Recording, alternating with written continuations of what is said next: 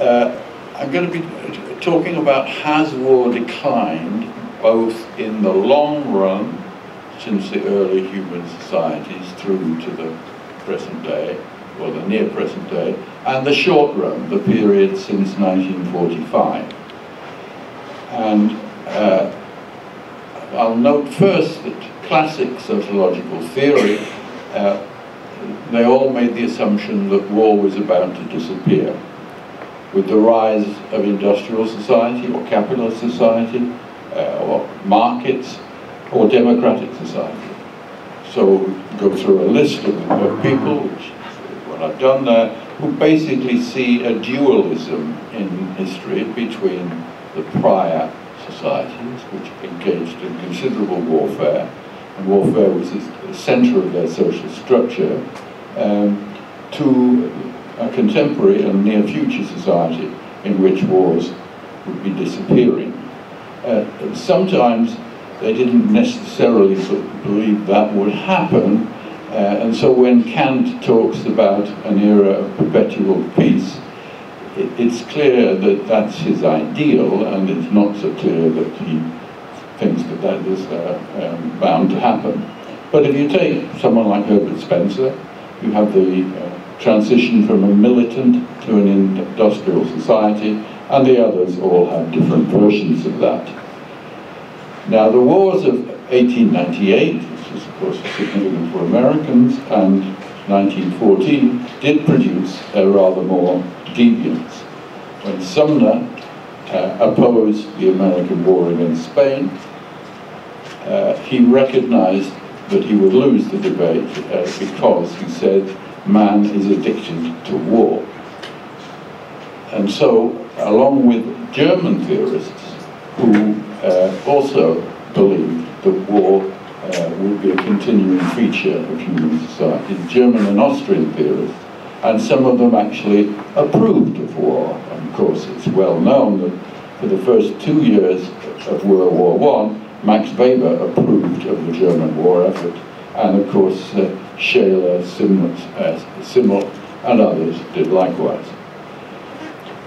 After 1918, having just suffered a dreadful war, theorists didn't predict peace, but they preferred to ignore war and go on to nicer topics, except for fascists, of course. And then post-1945 sociology neglected war.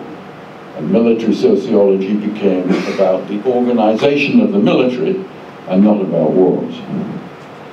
And the Marxist metaphor of the class struggle is only a metaphor. It doesn't involve uh, serious fighting. And of course then the Cold War was fought through proxies, and that's a, a kind of point I'm going to return to when talking about the short run. But in the 1990s, there was the end of the Cold War and a revival of explicit liberal optimism. And theorists like uh, uh, uh, Mueller, Azar Gat, Steven Pinker, seen a long-term historical de decline from the very earliest human societies to the present day.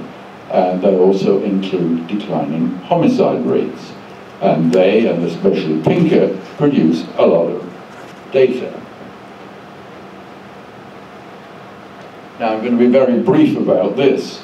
Uh, early human warfare, in this view, uh, hunter-gatherer war, uh, warfare was frequent and ferocious.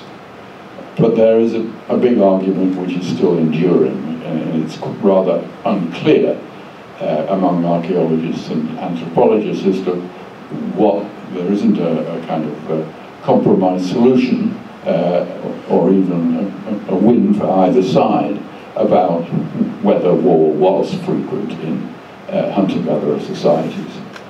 But most people, most scholars, uh, see the rise of the state as bringing more war. So it's apparently important to Pinker and the others that they show that there's a decline with the rise of the state because it's part of the long-run decline theory. Uh, that doesn't seem to be the case, uh, but it's not a particularly important part of their theories. And when we come to ancient empires, uh, Pinker tends to believe boasts, especially Assyrian boasts, of wiping out whole peoples.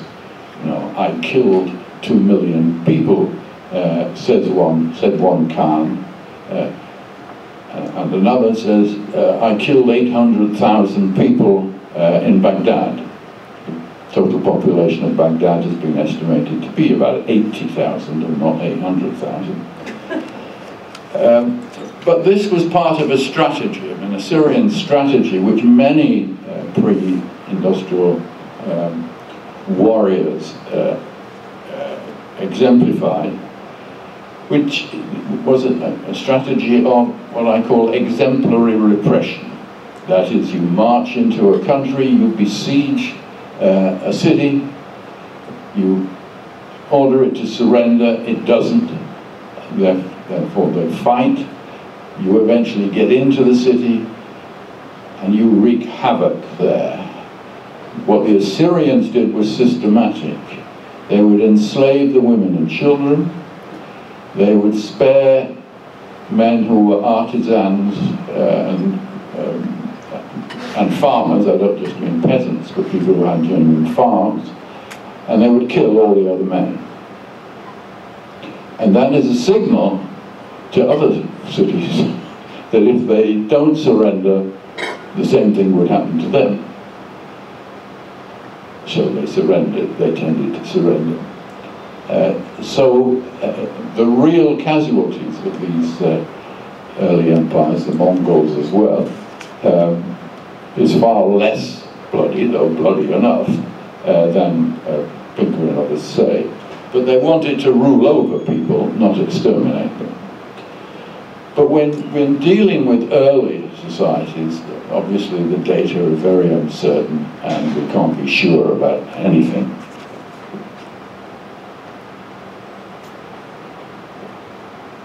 Um, and uh, there's a lot in this table. These are, this is a kind of long run tendency, as it were. You can count the number of wars, but that's not very useful because World War, World War II becomes world war, as do quite minor incidents. So the number of war fatalities, of deaths, has become uh, the standard measure. And this starts with a list of uh, the, the worst incidents in human history, the worst casualty rates uh, consequent upon war. They're listed down the left. The next column is the century in which they happened. Then the next one is absolute deaths. That just means the numbers killed. Okay? And in fact, the table is ordered uh, by that. So the World War II is the worst. Mao's, uh, the Great Famine consequent upon Mao's Great Leap Forward is the second. The Mongols are the third an 8th century Chinese rebellion, An Lushan, uh, is the fourth. Now I want to pause there. You'll note that for the Mongols, and these are the actual numbers of death in this kind, in this uh, list. You will note that in the case of the Mongols and An Lushan, that there's a figure in bracket. And that's because Pinker chooses uh, much too high an estimate fact, for the Mongols, you continuously see on the internet the notion of a range between 30 and 60 million dead, and he settles for somewhere in the middle of that. But if you try and trace these figures, you find no sources at all. It's one of those internet myths which kind of has a life of its own. Scholars have estimated that the casualty rate was 11.5 million, and similarly for An Lushan uh, where the problem was that the, um, uh, that the Civil War destroyed most of the records of the imperial government. And so the population figure for the period immediately afterwards is deeply unreliable, and scholars uh, uh recognize or estimate that the figure is not 36 million, but 13 million. Anyway, you go down that list. And it looks at first sight that there's not a lot to support Pinker and the others because World War II, Mao, uh, Stalin, uh, um, uh, World War One and the Russian Civil War all in the 20th century, and the British Indian famines are in a mixture of the 19th and 20th centuries. So it would seem that the 20th century is the bloodiest of all. But Pinker actually says, and there's some merit in this, uh, that the vital thing is not absolute number of deaths, but relative numbers compared to the population. Well, the population he examines is the population of the world as a whole. So all of these estimates are of the relative deaths are the deaths per 100,000 population of the, of the world. And you can see from this that that changes a little bit. Uh, World War II is still at the top and Mao is the second. Um, sorry. it changes considerably the earlier historical death rates and relative rates. So that An Lushan, even when you uh, adjust the figure, is the number one in terms of uh, death rates. Uh, the Mongols start out as two, but they are in reality somewhere around 10. Uh, and uh, uh, the Middle East slave trade from earlier centuries is number three, and you have World War II shifting down to nine because the world's population in the 20th century is enormously greater than that uh, in the 9th century or the uh, 14th century in the case of the Mongols, etc. And so he uh, uses this as evidence that there has actually been a decline in warfare. However, what I have added is the duration of the war. Because, for example, you're comparing World War II, which lasted for eight years from the Japanese invasion of China onwards, uh, with the slave trade, which uh, Pinker himself says lasted from the 7th to the 19th centuries. So I think there's a lot to be said for giving an annual death rate, an annual death rate, and that restores the former ordering, more or less. So World War II uh, returns to number one, and though the Chinese are still uh, number two, uh, the Taiping Rebellion in the 19th century is number three. Uh, well, Tamerlane is, is, not modern at all, uh, but Mao is number five. Uh, I'm sorry, World War One is number two, right? because An Lushan should really not be number two, but number eight. So if you look at duration as well, it restores the argument that the 20, from the late 19th century through the first half of the 20th century, this is the most bloody century there's probably ever been, which really in long run terms, if you accept my argument, uh, it, uh, it falsifies the argument of these optimistic liberals in the long run. Now, I've mentioned most of these uh, uh, problems uh, already. One might add as well that the 20th century killings are separated by Pinker into uh, six different cases.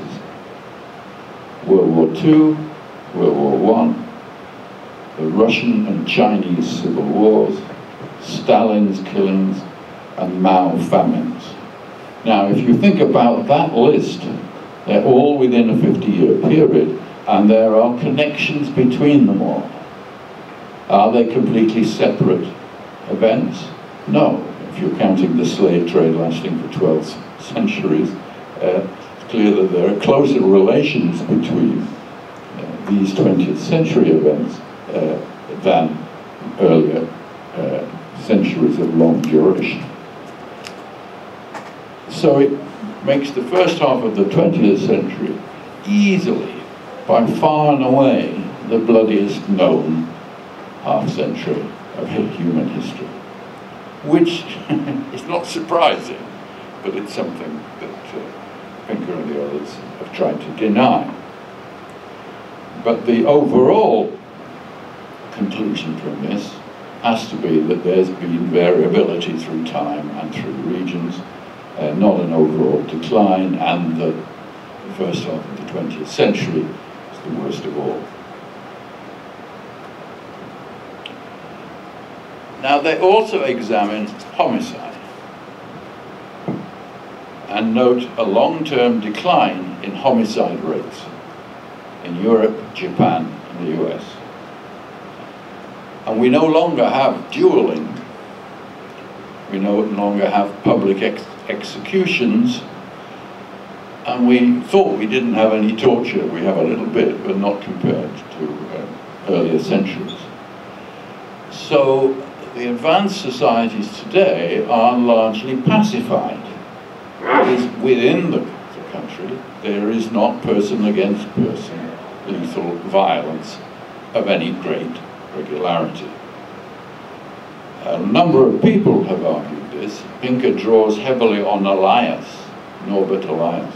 But actually, if, if he'd known more about Elias, he would know that the civilization, civilizing process that Elias detects uh, from the medieval to the 20th century uh, um, is as far as Elias goes. And considering that he was a, a, refugee from Nazi Germany and was used by the British as an interpreter uh, to interview uh, uh, Nazi war criminals, uh, he saw firsthand that he had to modify his view and saw that there was a decivilizing process going on in the 20th century. So Elias can't really be used to support uh, Pinker. But of course, Foucault, Giddens, myself have all agreed that the growth of infrastructural power, which is my term, is something that has largely pacified uh, uh, the internal structure of modern societies. So in fact, Pinker et al. are correct about homicide for most of the world. Now, not entirely.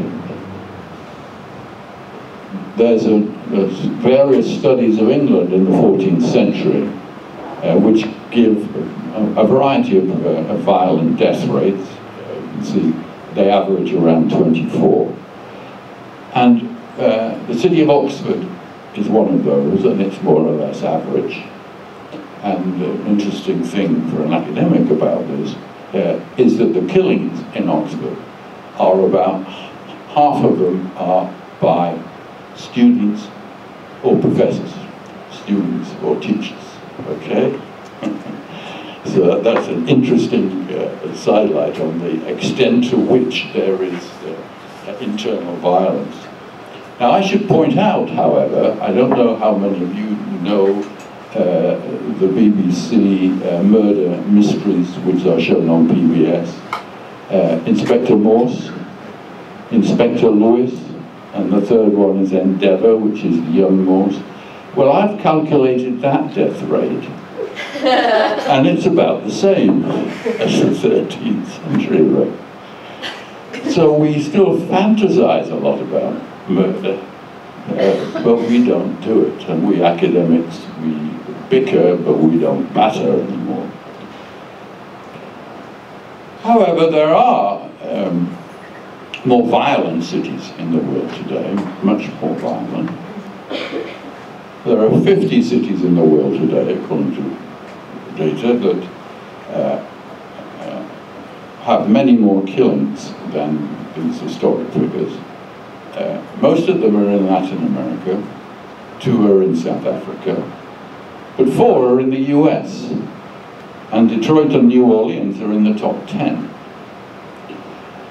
Now Pinker sees this and it worries him, but he concludes that there's a, a lagged civilizing process happening, uh, which uh, hasn't reached um, South America yet, and also hasn't reached the American South and the American, Afro-American community. this is dangerous stuff that he's uttering here.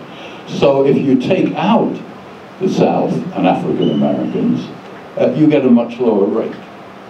Now, of course, if you took out certain groups from any of the other uh, cities, uh, you'd also get lower rates, and I don't think that is um, legitimate. But they do think that eventually all societies will be pacified.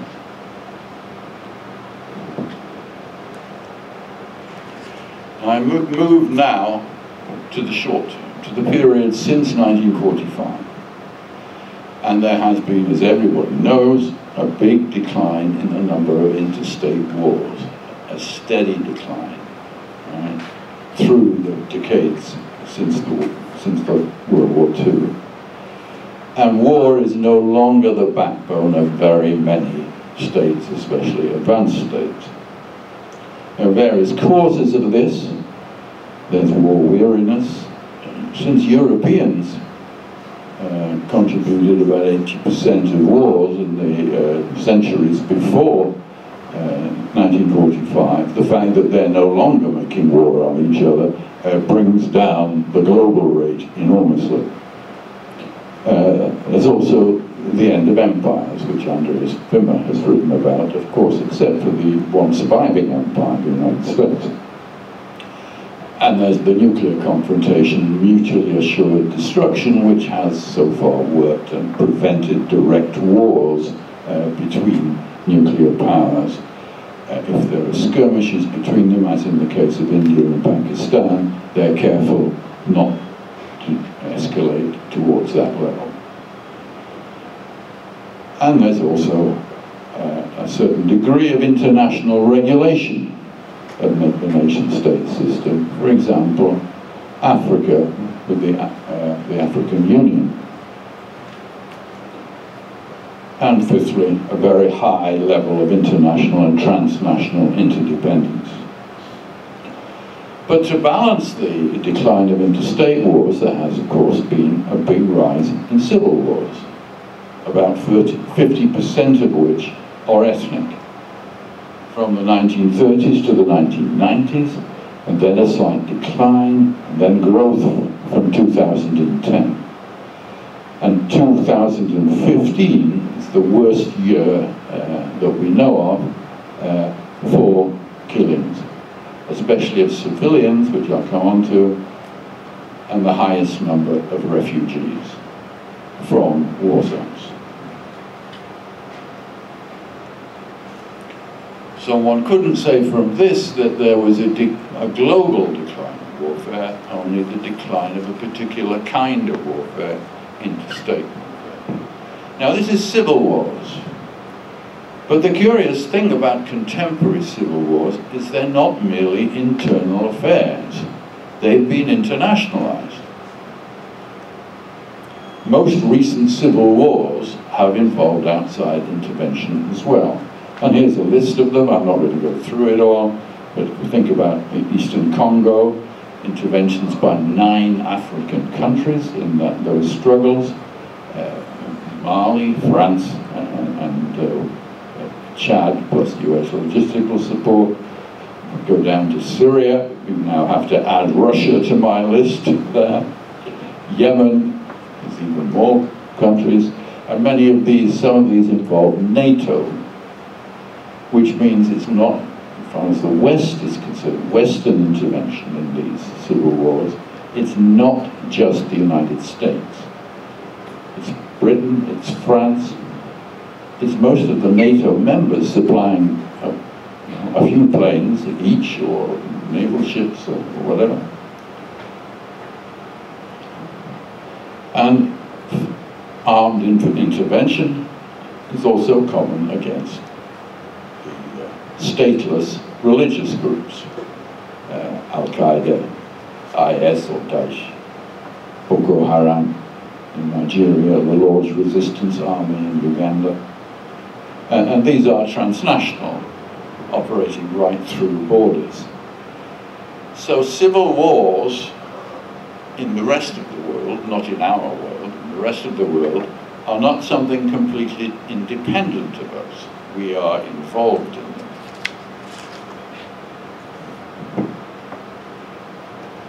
But we're involved in them in a distinctive way. And here I want to use the, dis the distinction that Randall Collins has made between ferocious killing and callous killing. Ferocious killing is hacking at bodies, which is war throughout most of history. Trying to dismember, kill the person standing directly in front of you. And this needs a ferocious mentality. And ferocity was a highly prized social virtue. Okay? The best warriors, the craziest warriors got high status. Now today we don't hack at bodies. We don't knife, we don't even shoot each other at short range. And we don't hack at enemy, enemy bodies. A certain amount of this goes on in the civil wars by the locals, but we don't do that. Torture, uh, rape, and the like, and the activities of Daesh, or ICE, or ISIS, they do horrify us. But long-range killing doesn't apparently horrify us. And I want to um, quote one of the most callous examples of killing. It's from the commander of the Enola Gay, who has just dropped the first atomic bomb on Hiroshima. And he writes in the log, results clear-cut, successful in all respects, visible effects greater than any test, conditions normal in airplane following delivery. Now, who would know that that involves the killing of hundreds of thousands of people? It sounds like any kind of office memo, memo or something. So callous warfare is where we kill, but we do so without uh, anything other than uh, a need to look away, need to look away from it. Uh, and this is what the, uh, the, the, commander of the Enola was doing. Uh, um, And of course, this has developed very considerably. We have a vast number of drones there now engaged in warfare. And uh, of course, many of the American ones, uh, the NATO allies have them too, but many of the American ones are organized from Kansas. And they kill people in the Middle East.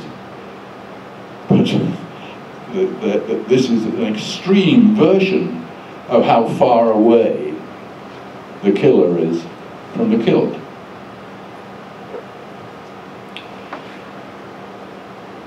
So it's undoubtedly the case that we kill more than Daesh does, or that Al-Qaeda did, through our aerial bombing at a distance. But we don't have an overtly violent culture homicide has gone down, and we don't need ourselves to be involved in the killing that the US and NATO engaging in. At the most, it's what I called, in the context of the uh, British uh, Argentinian uh, war, spectator sport militarism, where we stand on the sidelines and we cheer them on. I remember vividly the, all the reporting of this war on the British side, and we cheer them on, but we make no sacrifices whatever ourselves. We're not involved. It's a, few professional soldiers and sailors and airmen who are involved. Uh, so um,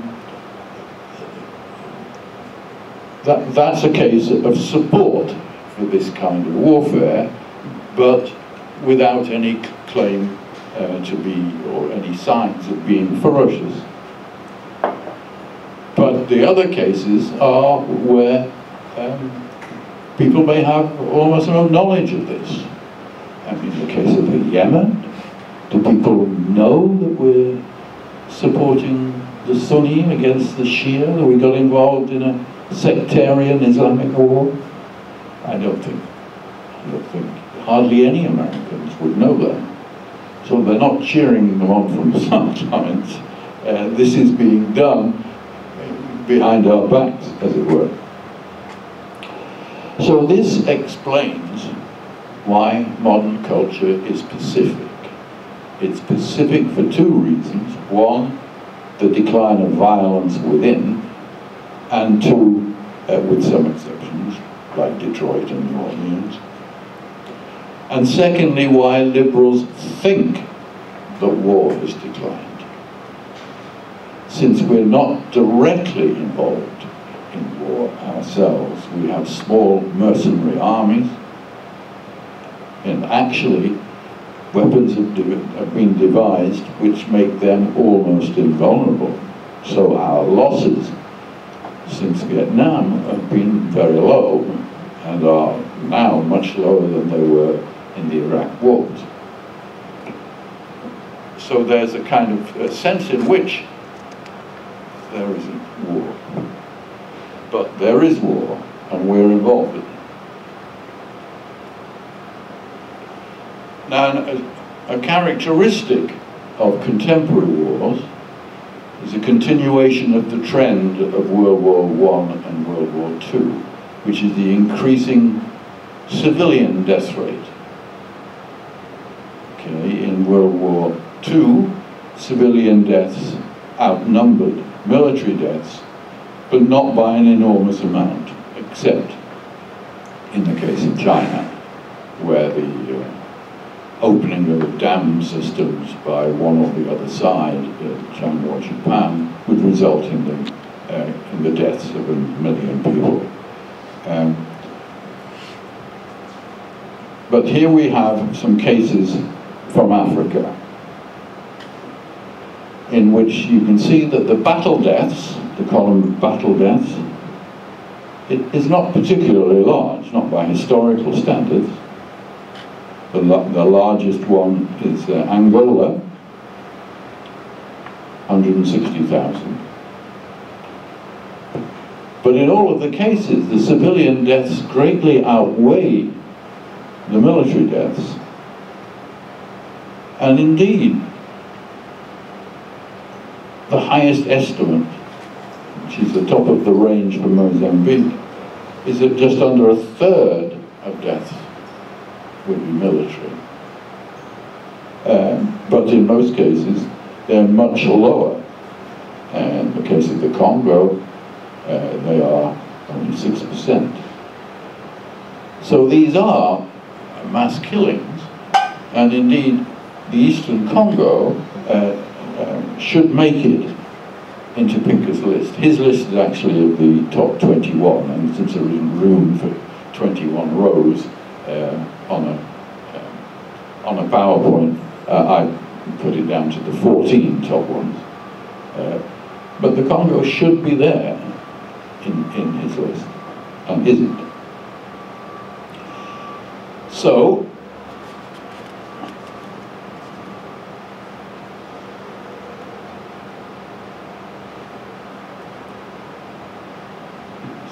well, the number of conflicts doesn't show very much. Uh, this is world military expenditure uh, from 1988 to 2014. And you can see there was an initial decline uh, in the 19, early 1990s, but from there on, uh, military expenditure across the globe increased. And indeed, the figure for 2015, which is here, uh, is almost certainly the, the, highest of all. In fact, it, it is the highest of all. The number of refugees is the highest of all. Uh, so, uh, in the very short run, and I think we all know this, there's been a big increase in war in the last few years, with one region, the Middle East, contributing most of it.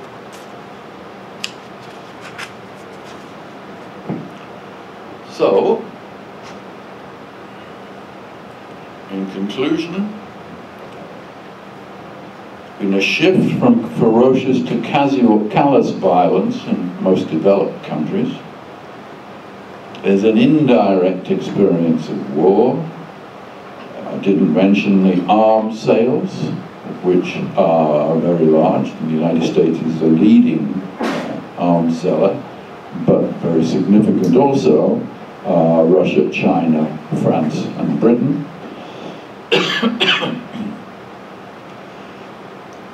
The fighting is largely done through proxies. Most of our interventions are quite small in terms of the commitment of military resources, even though they may result in large-scale killing. and there is at most spectator sport militarism, in which we make no sacrifices at all. And this reinforces the decline in homicide to produce a pacified culture and an illusion of no wars. They are barely visible wars. this is less so in the US because the US involvement is uh, so persistent and does on occasion ratchet upwards um, but of course, Britain and France ratcheted upwards also in Libya. And this is why many people believe that war is declining. There's no long-term historic decline in interstate wars, as I showed earlier on. There is a shorter-term decline since 1945, especially in Europe, and then after a decade's delay of there being wars, East Asia. This has been replaced by civil wars elsewhere, but they are usually internationalized. So there's a decline in the number of major conflicts, but no decline in smaller or civil wars. in fact, civil wars are still increasing. And civilian deaths are outweighing battle deaths uh, on an increasing scale. now, what of the future? Well, the Middle East is likely to remain violent. There are increasing signs of a kind of inability by the United States and China to accept, or on the part of the United States, to accept the rise of China or of China to abandon the notion that being a great power involves military expansion. So there is Chinese military expansion going on in the islands of the Pacific, uh, and there is uh, American denunciation of this and the building up of American forces in the Pacific switching from Europe to the Pacific. So that's a very worrying sign of the future. It doesn't necessarily mean that China and the United States would go to war directly with each other, I mean, unless human folly, which does sometimes enter human affairs, becomes, you know, grotesque. the second cause for worry is, of course, the rise of Russia and its desire to predominate in Slavic-speaking countries, and American reluctance to accept that. We have continuous propaganda in the, in the West that the Western Ukraine is the virtuous party, the Eastern Ukraine and the Russians uh, are the villains. But of course, Ukraine should be two countries. If they can't get along, which they can't get along, majority Ukrainian and the majority Russian-speaking uh, parts should be separated. They are. The Crimea, if it wants to, should be uh, part of Russia. It certainly welcomed Russian intervention. Whether they think the same thing now is another matter. But we're girding up for confrontation with Russia again. After all, Russian expansion, recent Russian expansion, can be seen as a response to the expansion of NATO to the boundaries of Russia itself and the stationing of uh, the anti-ballistic missiles uh, bases across Eastern Europe pointing at Russia, supposedly there to deal with Iran, but actually pointing at Russia. So it's not surprising that the Russians expand a bit in response to American and NATO expansion. Now, in neither, in, nor in this case is it all that likely that there would be a war between the United States and Russia. But you could have a return in both continents, well, in, in, in uh, Eastern Europe and Southeastern Europe and the Middle East, as far as uh, Russia or America is concerned, and in the Pacific, as far as China is, uh, and America are concerned, we could have a revival of proxy warfare, which was the predominant form of warfare in the Cold War period. That is, the United States and the Soviet Union tried very hard not to have their own troops involved in clashes with each other, but they used proxies to uh, try and influence the regimes of the world. So it seems to me that we are in danger of being uh, returning back to the Cold War period uh, uh, and in fact to the period before the pacification of East Asia when the United States and uh, Russia and sometimes China fought proxy wars uh, against each other, you know, Korea and Vietnam especially. So uh, those possibilities remain. A distant possibility, but devastating in its effects, would be nuclear war. It's possible to conceive of there being environmental wars. If there are major steps taken uh, to mitigate uh, environmental uh, disaster, um, that when we got close to that disaster, states could go to war with each other. That is, the more privileged states of the, of the world in the north of the world uh, uh, could erect fortress walls, you know, build a wall across uh, the Mexican border, build a war across the Canadian border. Canadians would do that. and uh, all kinds of bad consequences and deaths might result. So, who knows? Uh, human beings do have the capacity for kind of rational solution of military threats and of conciliation, uh, but they also from time to time uh, lose control and uh, uh, let loose uh, the dogs of war and are still doing so. So that the optimistic liberals, of whom Pinker's the leading one, are mostly wrong.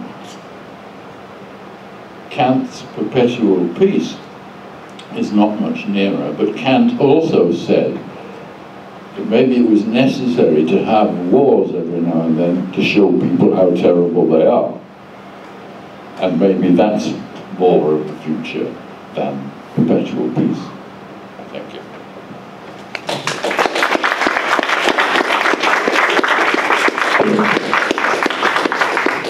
Okay, the floor is open. History versus historiography um, what caused the onset of World War I. We are told it was one gunshot in Sarajevo. Surely, sounds nonsense. What do you think is the real cause? Well, uh,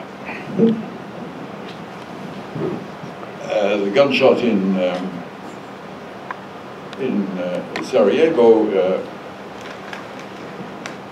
uh, was the trigger, but it was the trigger to specific kinds of mobilizations. To the Austrians uh, determined to punish the Serbs, the Russians to come in on the side of the Serbs, and Germany to back Austria-Hungary and attack um, Russia and also uh, Belgium and France, Belgium and France. Now this presupposes a geopolitical system uh, near, nearing crisis uh, in which rival alliances have been built up and, um, uh, and, and make Europe rather threatening. On the other hand, there are other contingencies as well. So, uh, what's one interesting feature is that um, the the German mobilization plans included mobilization over the border in Belgium, the seizing of Belgian railheads and the uh, state and the immediate stationing of German troops there.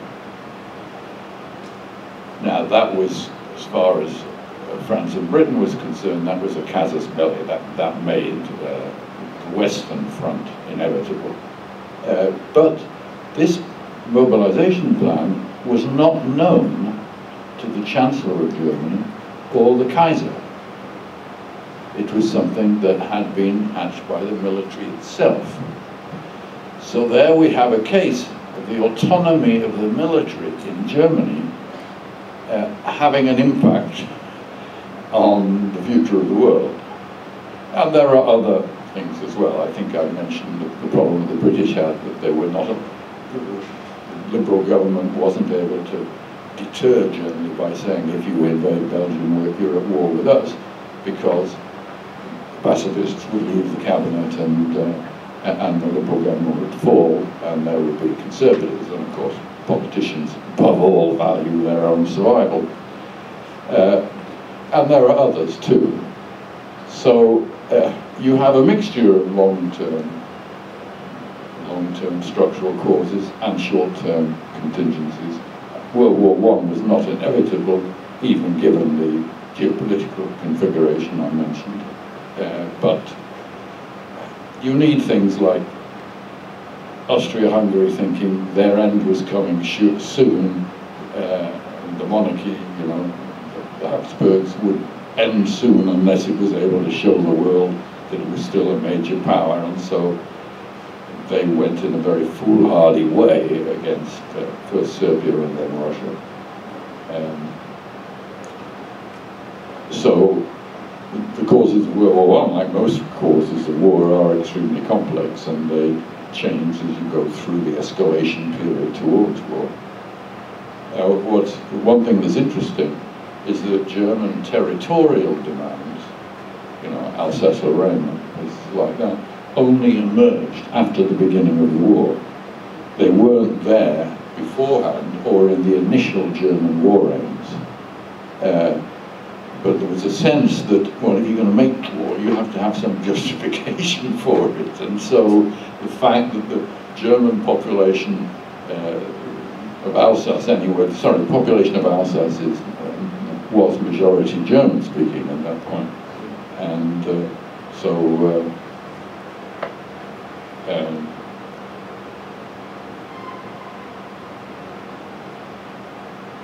uh, sorry, I've got that wrong. It's other regions that they go into because uh, they already have Alsace from the Franco-Prussian War. Yeah, yeah.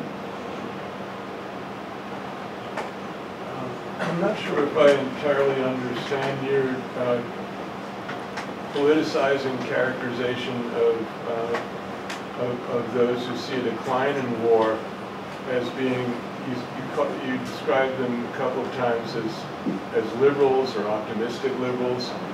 And what uh, point does that serve to politicize um, those who see a decline as opposed to those who are uh, considering war to be inevitable? Okay, I, I take the point, but I um, I'm forgetting the, the, word liberal in the United States means something different. It's, it's the liberal tradition of, uh, of Western, especially European uh, thought, uh, from uh, you know, people like Herbert Spencer, Saint-Simon, etc. They were left of centre without being socialists. And then Pinker is clearly um, a liberal and he's optimistic. Actually, uh, you're right in one sense. It's not true of Azar Gat, who's an Israeli colonel. And I shouldn't think he's liberal from the way that he writes. Uh, but um, I think liberalism is optimistic in general. And that's, their optimism is defining feature, and I call them liberal because, except for Gat, they're in a tradition of liberalism.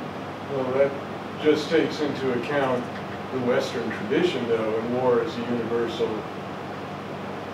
So I'm not, I'm not entirely sure what purpose it serves. Well, I was only talking about Western theorists here. I was talking about, uh, you know, Why, two, two Why- Americans why and one? Israeli. Why concentrate just on the West? Well, obviously in the wars, I'm not concentrating on the West, right? Right. Uh, but what our culture receives is essentially Western thinking. It is actually paradoxical that of these three people who have recently arrived, two are Americans and one is an Israeli, and these are the countries still making war. Uh,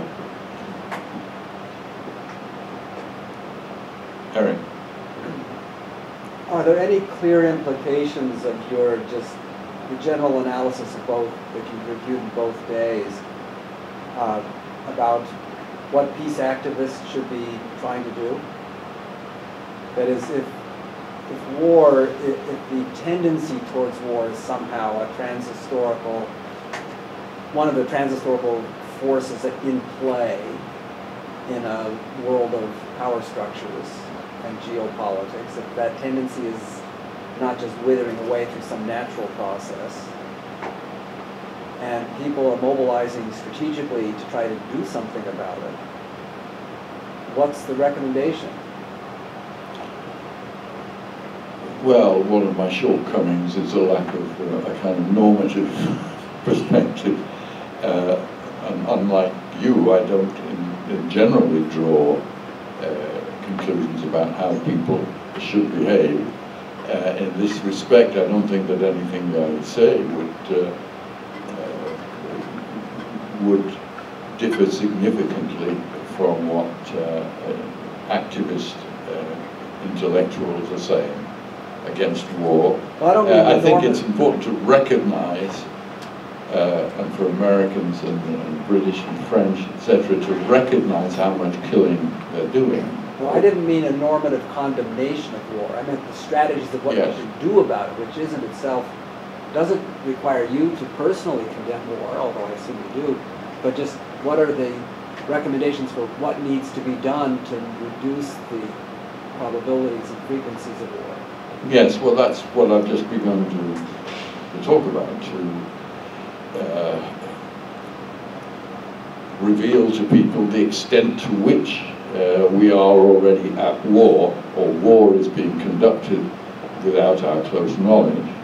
Uh, it's also uh, um, would involve an, an appeal to the United States and China uh, to uh, and especially the United States, since that, that's the one that we can potentially influence, uh, to recognize the rise of China and come to terms with it, and not assume that every little Chinese move forward needs to be countered by a fleet. And the same thing for Russia, to recognize why Russia is doing these things I, I accept Syria from this. I mean, I'm not, I'm not, I'm not understanding of Putin in that respect, but I am in terms of Crimea and the Ukraine. And so much of our news is propaganda in this respect. So I. Pink, Pinker has an appealing um, uh, metaphor here about the angels and demons of our soul, and he thinks that the angels are triumphing. And uh, think that there's always struggle between angels and demons within us as far as war is concerned. Uh, but um, I think that all that I've just said would be perfectly recognizable to, to uh, peace activists. And peace, peace research is a major part of political science to sociology.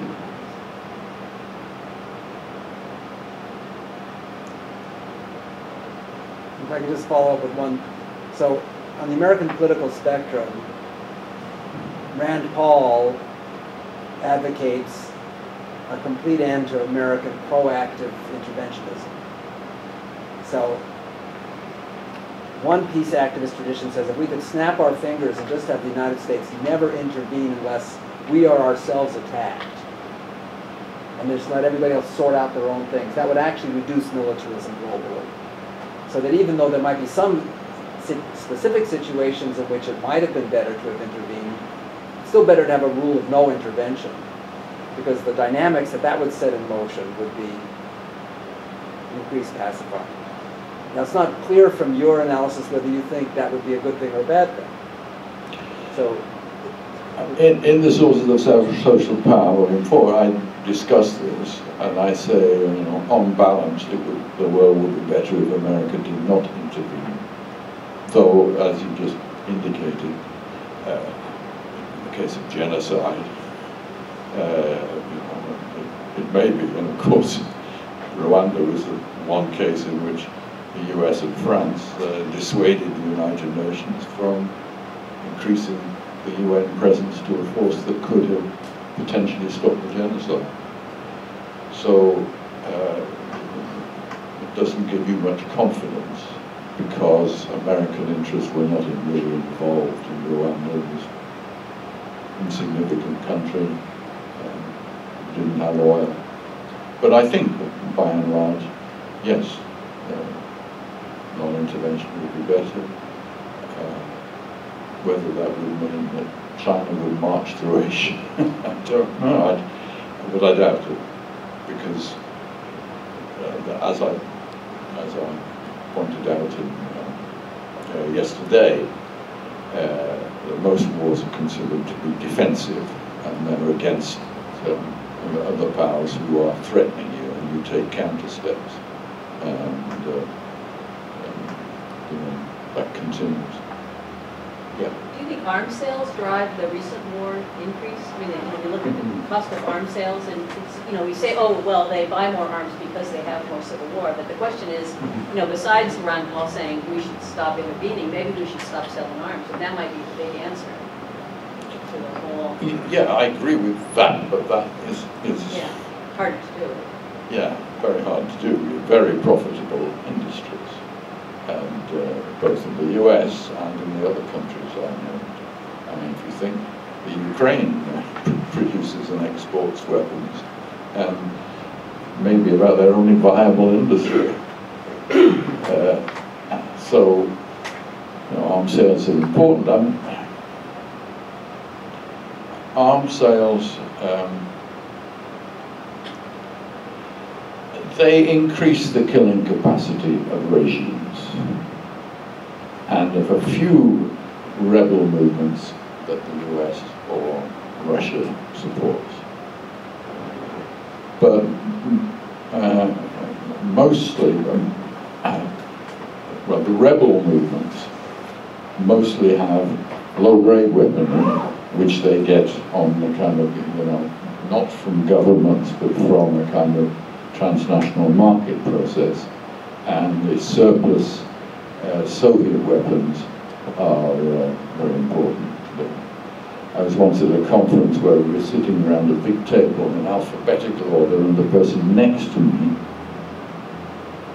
it should have been Nelson Mandela, but he was a no-show.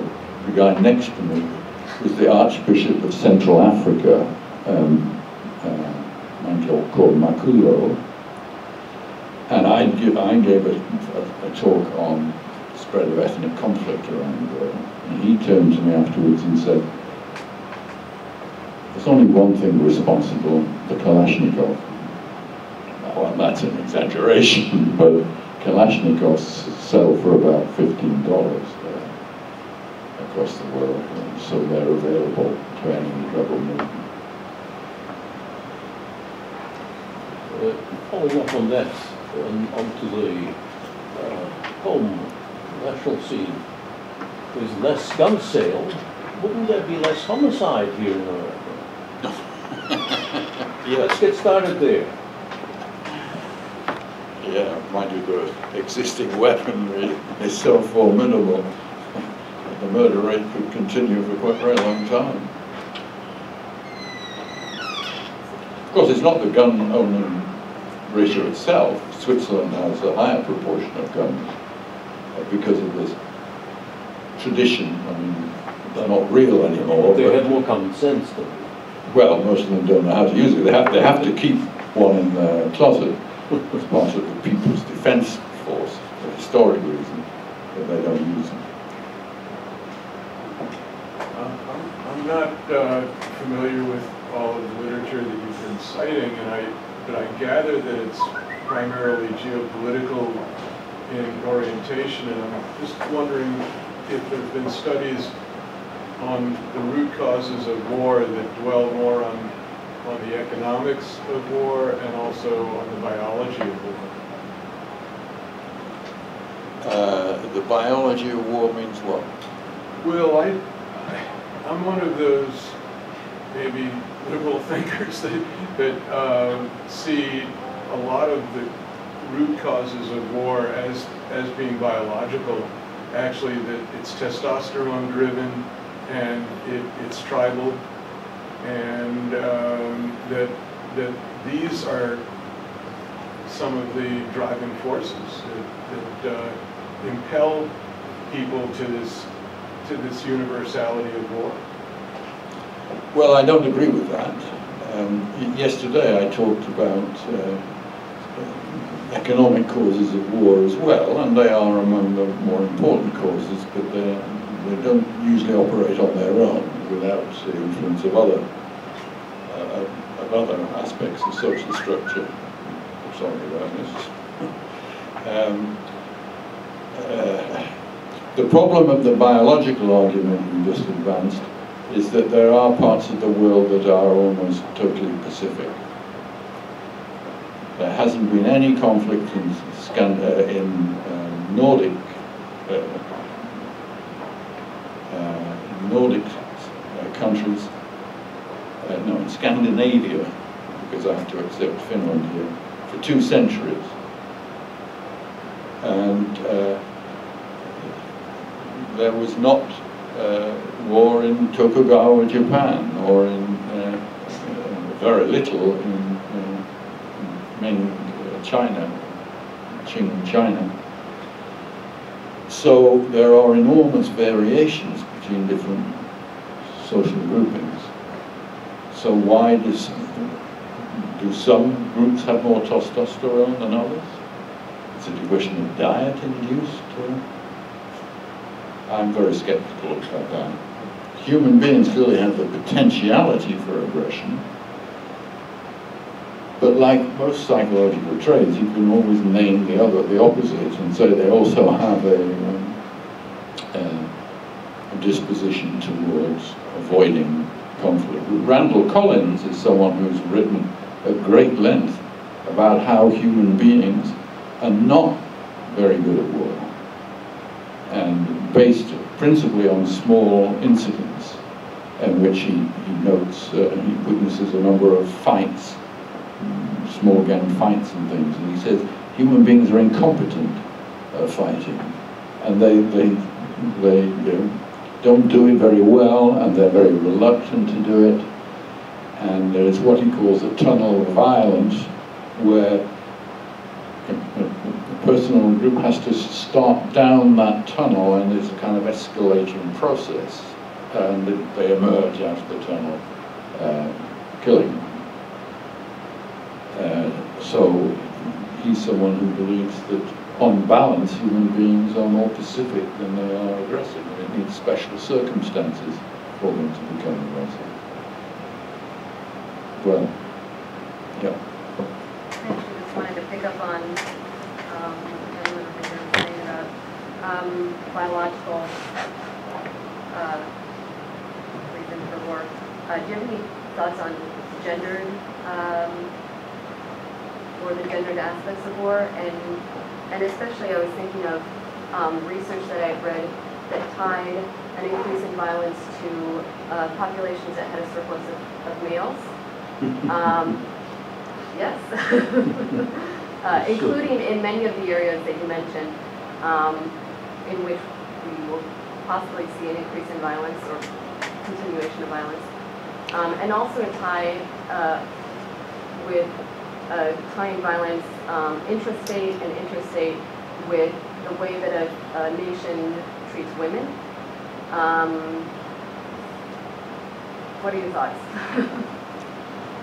Well, I think that the, uh, the data are, um, are about young men, where you have a disproportion of young men, in your more likely to wars, and this has been especially advanced for Arab countries. Uh, there- there's a big debate about it, and I'm, I'm not an expert on this. Uh, war has been traditionally male. People will search for Amazons, but find it difficult to find them. Uh, but then the public sphere has been male, not just military power, but political power too, and the higher reaches of economic power. So it's, um, is it a bio, um, your question perhaps, or it might be biological, uh, or it might be social, cultural. Now that women are getting more equal, and now that women are admitted to some armed forces, and now that you have some politicians like um, uh, Margaret Thatcher, Indira Gandhi, not noticeable, not noticeably Pacific politicians, are you going to get an end of this, of this, bi- of this gender bias? I, I don't know. Following, following up, following up on that. Just a second, Oh, And the American argument, the American government during World War II, their argument in not uh, helping out the Jews in Europe, for example, during the Warsaw Ghetto Rebellion and etc., is they had, they had to put all their effort and energy into the war effort. By winning the war effort, then they could uh, save the Jews in World War II, and that was the argument that the American government presented. By the time that World War II ended, there were practically no Jews left uh, really to speak of. And the same could be said about the Armenians in World War I. By the time World War I ended, Armenians in the, in the Ottoman Empire, they're practically eliminated also. So the justification for wars in these, uh, in these two World War wars, supposedly it was to help these situations, but reality did not accomplish that. So the argument for war seems to be sort of fake. Well, you're assuming that um, American motivation might have been to help the Jews. Of course, it wasn't. So uh, it, uh, America entered the war, and thank God America did enter the war, uh, because of its uh, uh, fear of uh, Nazi Germany becoming a, a threatening presence in the whole world and its traditional links with Britain, and it swallowed its distaste of communism to make Soviet Union an ally. It was for geopolitical reasons, essentially, and perhaps also, I mean, in these cases, there are always um, leadership groups who believe in democracy against uh, autocracy. I mean, some of the neocons in the Iraq War genuinely believed that they were taking democracy to the Middle East. So uh, you know, I mean, they, was world historical bad luck for the Jews and the Armenians, but nobody was going to intervene for the purpose of helping them. In fact, when Germany, before the war, uh, uh, tried to ne negotiate with the British uh, to, for the British to allow uh, major shipments of Jews to Madagascar, the British refused.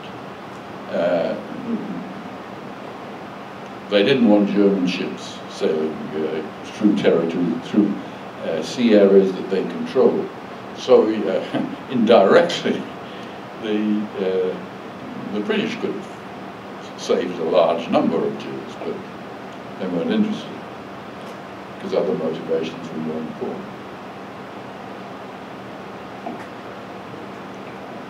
Back to the gender issue. Indeed, things have changed. In America, we have, I think, generals or high positions, they're ladies. In uh, Europe, there is one lady, Minister of Defense, um, uh, sort of a medical doctor lady, but she's Minister of Defense. So that has really changed very much, and that sort of thing, and what the heck?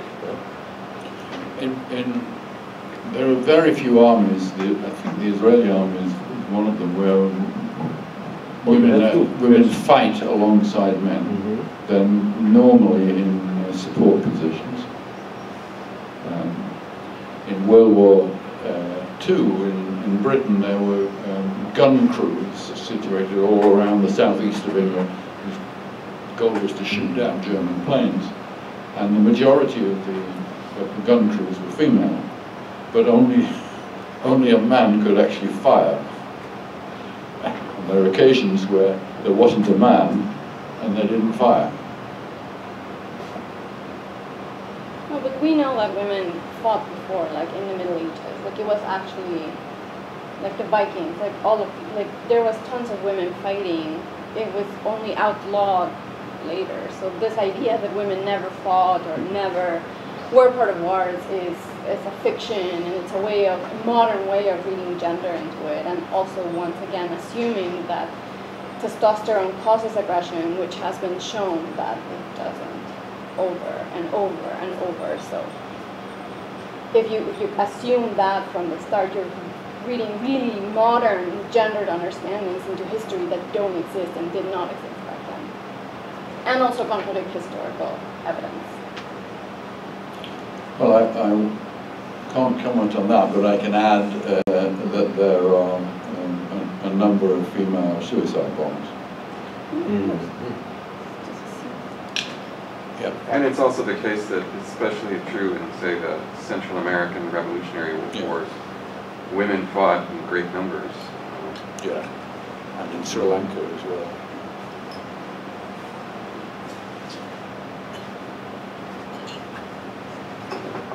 Other comments? The clock is ticking. Okay, so, um, come back tomorrow.